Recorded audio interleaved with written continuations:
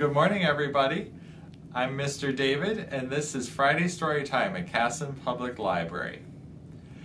Thanksgiving is coming up in a couple of weeks, and so for the next uh, couple of story times, we're going to read books about being thankful and what you're thankful for. So, what are some things that you are thankful for? Are you thankful for your parents, your pets, maybe your brother and sister? Well, today we're going to read The Thankful Book by Todd Parr.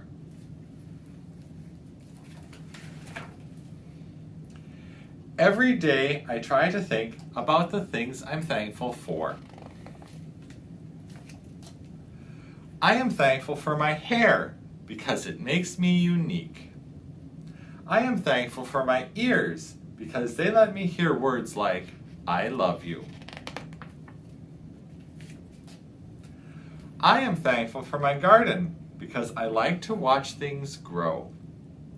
I am thankful for my shadow because it makes me look taller. I am thankful for bubble baths because they keep me squeaky clean. I am thankful for underwear because I like to wear it on my head. That's pretty silly, isn't it?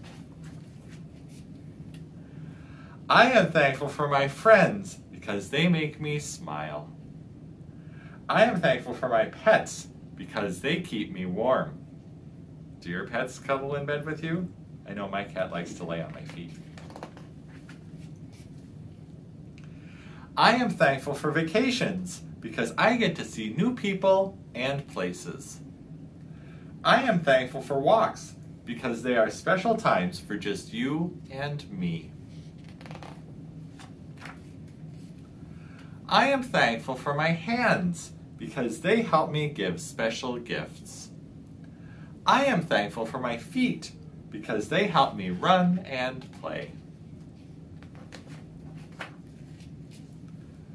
I am thankful for music because it helps me or it makes me want to dance.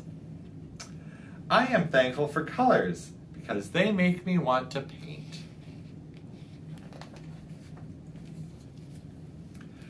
I am thankful for school because I love to learn new things. Do you love learning new things?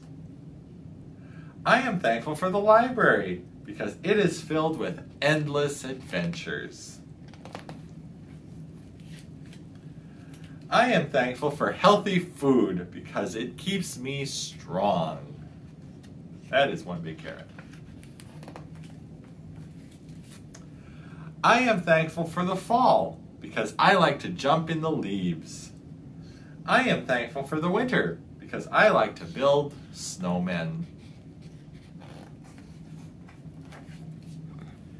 I am thankful for hugs because they make me feel good. I am thankful for kisses because they make me feel loved. I am thankful for holidays because they bring my family together. Well, maybe not this year. There are lots of things to be thankful for. Try to remember some of them every day. The end. Love, Todd.